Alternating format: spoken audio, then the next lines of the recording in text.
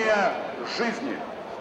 С каждого из матчей тура будет перечислено 150 тысяч рублей на операцию ребенка с тяжелым пороком.